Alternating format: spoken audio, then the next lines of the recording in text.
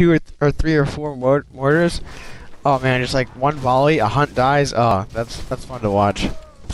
Yeah, he could probably have done that, but instead he's just creeping it up. Uh, once you hit four three, I don't. I wouldn't recommend creeping too much more here. Uh, I don't think that it's very worthwhile because, first off, three heroes will split um, three ways, so your experience getting per camp is going to be very low. And also, uh, level four for Firelord does basically nothing. Level five for Archmage is good, but he's he's the highest level hero, so it's going to be hard for him to level. So I would just go ahead and push. Um, yeah, basically. Alright, so here we have a battle. Knights, Knights out front, uh, you want all your range up back. And OC's gonna just push, he's gonna push past it with all his hunts and try and flank the mortars, but, uh, Kling's gonna use his, uh, Pal Paladin to, uh, heal that mortar team, and he's gonna go ahead and staff it out. Whenever a unit is, like, you're not sure if it's gonna die or not, staff it out immediately. Because I'd rather, it's better to staff and save a unit and maybe not, you know, get as much out of that unit in the battle, but to always save that unit than it is to, to risk to risk losing it. Anyway, so Panda hits level five. Um, level five, breath, level three, breath of fire is pretty much GG if you don't have Knight Mortar, uh, because basically all your units die. Um, actually, when I, when I use Little Panda, it's pretty fun to watch. Like, you go up to like the casters and you use like Drunken Haze and Breath of Fire, and like they basically all die. Like, and if they don't die, they have like 10, 20 HP left, and you just go back and you do one more Breath of Fire on all of them, and they all die. Oh, that's so fun to watch. That's so awesome. Anyway, so, so he's going to expand now and push. Whenever you push your opponent back, going to expand. But again, he's got two mortars, but you know, three or four mortars here with with more knights, and he could really just push here and the game be over. Here was a pretty stupid battle. Uh, he he didn't let his mortars get out back, so he's kind of got them in the middle of his army. So he has really bad positioning, and level three Breath of Fire is just pretty much owning up. Um, and it, smartly, he decides to TP out here. Um, th this battle really couldn't have gone positively with the kind of positioning he had. Um, it allowed all the hunts to get in there, and he just basically was flanked, so it's pretty stupid overall.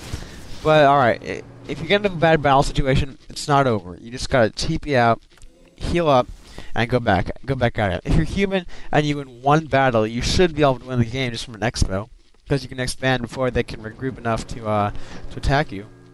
Expo and push, and if they survive the push, you have an expo, and if they don't survive the push, then you win. So pretty much, pretty much GG either way there. Yep. Anyway, so now you're just healing stuff with staff. That's a pretty good way to get some free healing. Uh, you just staff and switch, staff and switch. Pan is level 5, and once Pan is level 6, it becomes extremely difficult. Extremely difficult, because level 6 Panda, you can focus it, it'll do Breath of, Drunken Haze, Breath of Fire, and then split itself up. So, first off, massive damage done to your army. Second off, any focus firing you did is completely wasted. And third off, now you have these three pandas basically ripping your army to shreds, and they're like, what's 5,000 HP all put together, something like that, maybe 6,000? Not exactly sure. I'm sure someone will give me the exact HP soon enough. In fact, whoever is the first person to give me the exact HP of the three panda elementals combined, whoever is the first one to send me that will get a shout out in my next audio. So remember, how the total HP of all of the elementals combined, send that to me, and in the next audio you will get a shout out at the start of the audio. Alrighty. So I hope that works well. Hope you guys all send send out. Yeah. Anyway, Snide's gonna creep up uh, a little bit more, and again, really, at this point, he should just push. Uh, he's got 54 food. OC's got 48. Uh, OC has hit tier two, but he's uh, declined for any uh, tier two buildings, which kind of makes you wonder why the whole why you even went tier two in the first place if you're not gonna get a tier two building. Um, yeah. So here is a, it's pretty much a good game battle because you have these high HP knights in the, uh, up front. You've got th these high damage mortars in the back. You've got summons clearing it away. You got Firelord um, with that passive that's uh, when it hits it explodes and that's doing damage as well. Um, it's pretty much GG here. Uh, he saves the Paladin in the last second, and he hands the staff off to the Archmage. And again, he should have immediately staffed the Paladin, but instead he waits and he dies to a Breath of Fire. So it was kind of, kind of a stupid idea for him. Um, however, at this point, it is uh, far from mattering. Uh, Panda, level five still. He doesn't have much of an army. It really, really isn't much, much OC can do at this point. Oh, and it's pretty funny. After I talked to OC, um, he's he, he, he said to me, "So uh, nice job getting getting a pro Europe player to uh, play for uh, your clan." And I said, "Oh, oh, Rafflecopter, why you say that?" And he's like, "Come on, I can beat Sonky, I can beat Nilknarf, I can beat all these people, but I lose to Panada. Come on, you should be kicked out of the league." So yeah, you know, pro Europe players that build two blacksmiths, that is uh that is pretty much the way to go. Um, I know all, all the pro Europe players that I watch, you know, 4K, 4K Todd, and um, yeah, pretty much they, they all they all make two blacksmiths, uh, StarCraft style. So it was a pretty raffle excuse. Um, and then game one he lost. He he said that it was because he wasn't he wasn't used to playing good people, and he doesn't remember Panda being that good. I don't even remember it. it OC is is a funny person to play against because whenever you lose, you didn't even know it, but you're like you're like 300 losses to one win against him, and like he just told you and you never even knew. So that's pretty funny. Anyway, now he has inner fire on his priest, so that is really good game because now he has way higher defense, and um, the mortar team's damage is up.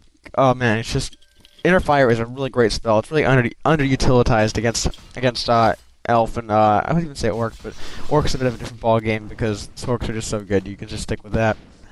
But uh, at this point for OC, it really isn't. Uh, now he's putting up his Ancients of Lore um, at the 20 minute and 30 second mark. So, yeah, that's a little too late. It's just a little too late. And at this point, with a level two, two almost a paladin, level five archmage, level four fire lord, um, it's not possible for OC to really win this. He's just basically running away with his hunt. Um, that's basically all that's up to this game. So yeah, now that I think the pan the uh, Panda the panda dies. Oh no, TV's out. Anyway, so it's, it's pretty much just just a solid counter. Uh, make sure you get your towers up before tier two. Uh, make sure you don't get any rifles. Make sure you take tier three ASAP, and you get your workshop up before you hit tier three. Uh, that way, you're. I mean, you're gonna have a pretty small army until you get your uh, knight, your knight priest mortar, but it, it's definitely worth it because once you get there, there's no way he can win. So as long as you get your towers up, you're pretty much fine. And uh, OC realizes here there's no way he can win. He's got like one Dryad and some hunts. Um, yeah, pretty much. He's OC.